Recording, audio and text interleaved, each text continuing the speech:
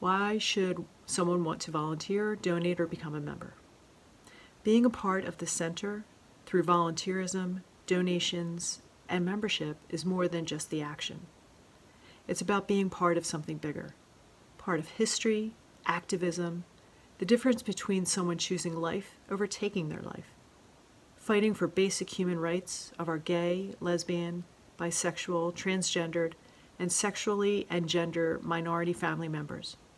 Participating in the center makes a difference in the lives of many every single day.